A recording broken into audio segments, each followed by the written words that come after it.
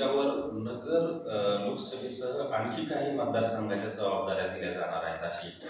कशा स्वरूपाने पाहताय तुम्ही? घेणार का तशा नाही पक्षाने ग्रामपंचायतची जबाबदारी दिली तरी तरी आम्ही घेऊ. आम्हाला काय आहे की आम्ही पक्षाचे केडरमधल्या लोकांबरोबर राहून पक्ष कसा वाढेल या दृष्टिकोनातून काम करणारे कार्यकर्ते आहोत. पक्ष जे म्हणेल आता मला एकदा विधान परिषदेत कोल्हापूरला माननीय चंद्रकांत दादांनी पाठवलं होतं. बॅग बॅग भरून चार दिवस कोल्हापूरला मुक्काम केला प्रचार केला. ठीक आहे उमेदवार पराभूत झाला हा वेगळी गोष्ट आहे. पण संघटनेमध्ये जे संघटनेची जबाबदारी योग्य वाटेल ती दिली ती करायची. राज्यामध्ये राहुल गांधी त्या सभेमुळं कदाचित महायुतीच्या जे आम्ही पंचेचाळीस म्हणतो ते अठ्ठेचाळीस होऊ शकतात. जागा आमच्या वाढू शकतात. त्यांची सभेनंतर. कसं आहे जेव्हा एखादा व्यक्ती जेव्हा लोकांपुढे आलेला नसतो तेव्हा लोकांना कदाचित त्याच्या व्यक्तीबद्दल मनात शंका कुशंका असू शकतात की यार खरंच एखादी संधी देऊन पाहू. पण जेव्हा ते वास्तविकतेमध्ये पाहून होतं तेव्हा त्याला बरं झालं आपण चूक केली नाही. अशा अनेक वेळेस अनुभव आले. तर त्यांची सभा झाल्यानंतर महाराष्ट्राच्या जनतेला जे काही अजून थोडे काही काही प्रमाणात संभ्रमात असतील त्यांचा संभ्रम दूर होईल आणि आम्हाला जागा वाढण्यामध्ये मदत होईल. काल शरद पवारांनी लोणावळ्यात जे मेळावा भरला त्यामध्ये सुनील शेळके या आमदारांना त्यांनी दम भरलेला आहे. शरद पवारांनी काय बरं का?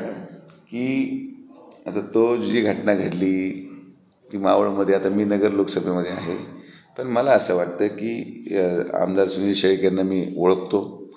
स्वकर्तृत्वाने निवडून येणारा माणूस आहे. आणि चांगलं काम त्यांचं त्या भागामध्ये आहे. त्यामुळं जे काही आरोप प्रत्यारोप त्या ठिकाणी झाले किंवा कोणी काही भरून दिला असेल लावालाव्या करणारे भरपूर असतात. त्यांनी साहेबांचा गैरसमज करून दिला आणि त्या आधारावर कदाचित ते भाष्य झालं असेल. पण अपूर्ण माहिती माझ्याकडे आहे. पण व्यक्तीच्या जेव्हा मी व्यक्तीबद्दल विचारलं जावं तर एक सामान्य कुटुंबातला व्यक्ती आमदार होतो आणि जनतेच्या प्रेमामुळं होतो. तर मला असं वाटत नाही की त्याच्यावर या बाकीच्या गोष्टींचा आरोप होणं गुंडागर्दीचा आरोप होणं हे काही संयुक्तिक आहे. जनता त्याला स्वीकारणार नाही त्या गोष्टीला.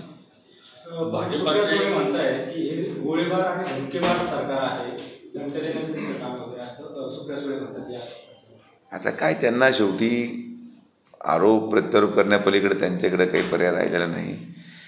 महाविकास आघाडीच्या राजकीय परिस्थिती बाबतीत विश्लेषण जर केलं तर अनेक जिल्ह्यांमध्ये त्यांच्याकडे उमेदवार नाहीत. कोणी लढायला तयार नाही. आणि म्हणून हे जे सगळे काही वाक्यरचना मागच्या काही दिवसांमध्ये तुम्हाला टी व्हीवर पाहायला मिळते ही सगळी आउट ऑफ फ्रस्ट्रेशन आहे. जेव्हा एखादा माणूस फ्रस्ट्रेट होतो मानसिक संतुलन बिघडतं तेव्हा अशा गोष्टी बाहेर पडत राहतात. त्यामुळे त्यांच्या आरोपाला जनता विचारणात घेणार नाही आणि येणाऱ्या निवडणुकात राहिली तरी किती? एका महिन्यात तर स्पष्ट होईल की जनतेने स्वीकारलाय का नाकारलाय? त्यामुळे एक महिनाभर थांबावा ना एक महिन्यानंतर कळेल. एकीकडे तुमची उमेदवारी जी आहे. ती बऱ्यापैकी फायनल जाते अशी मिळायची शक्यता आहे बोललं जातं.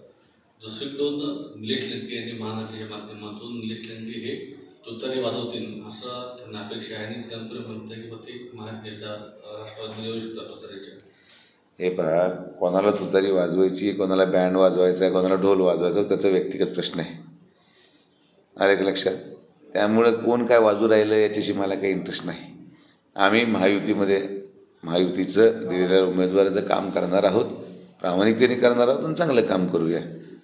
तुतारी बाबतीत मी तुम्हाला अगोदरही बोललो की ते हवा तर फुकली जाईल पण ते आवाज निघतो का नाही अजून माहीत नाही. तर ते येणाऱ्या कालावधी तुम्हाला कळेल.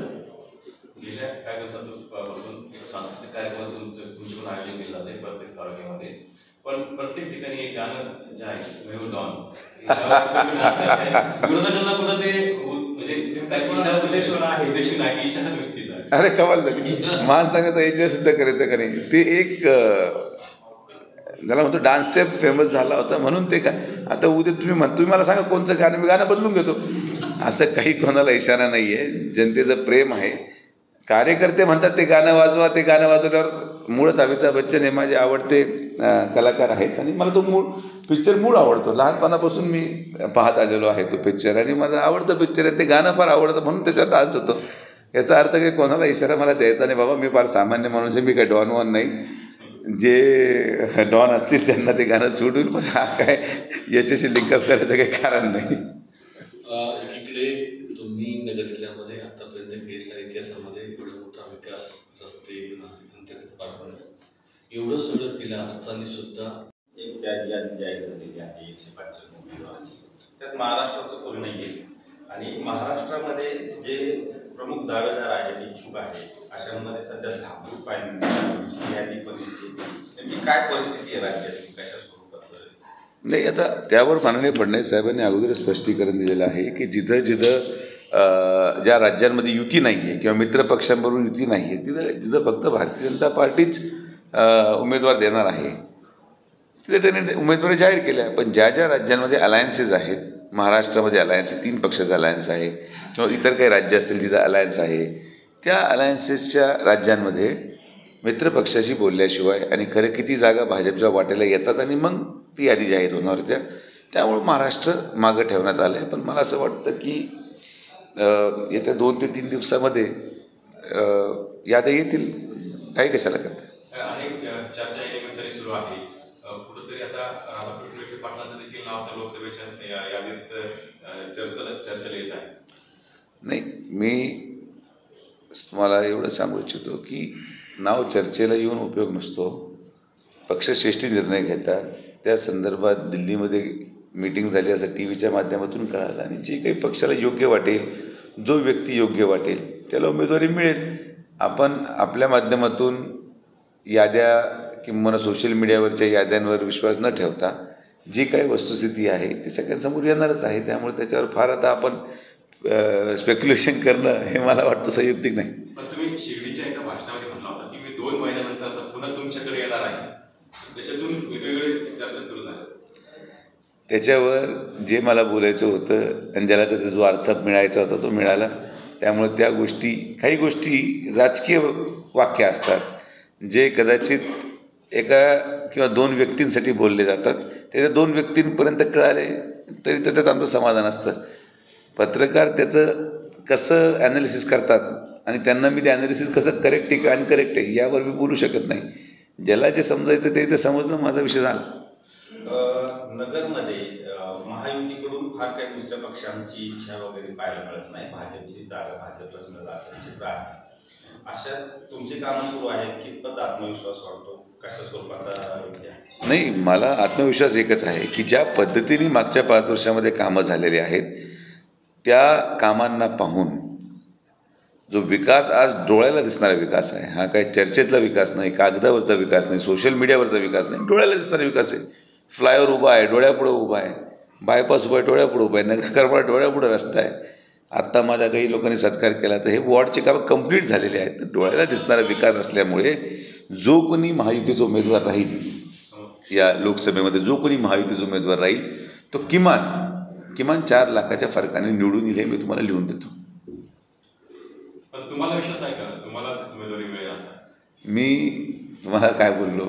जो महायुतीचा उमेदवार असेल तो चार लाखाच्या फरकाने निवडून येईल. आता उमेदवार मी कसं सांगणार? मला विश्वासाचा विषय नाही आहे मी एक सामान्य कार्यकर्ता आहे भारतीय जनता पार्टीचा. मला मागच्या वेळेस जेव्हा आपण निवडणुकीला सामोरं जात होतो कोणी हा विचार देखील केला नव्हता की भारतीय जनता पार्टीचा कॅन्डिडेट सुजय विखे असेल. पण अनपेक्षित घडलं. आणि मी कॅन्डिडेट झालो. पक्षाने मला संधी दिली. मला निवडून दिलं. आमच्या परिवाराला स्वीकारलं. त्यामुळं आज पक्षाने ज्या पक्षाने एवढं सगळं दिलं आहे त्या पक्षाने पुढं पण त्या ठिकाणी जो काही निर्णय पक्ष देईल त्या पूर्ण आम्ही समाधानी आहोत. त्या बाबतीत आम्हाला कुठलंही काही टीका टिप्पणी करणं संयुक्तिक वाटत नाही.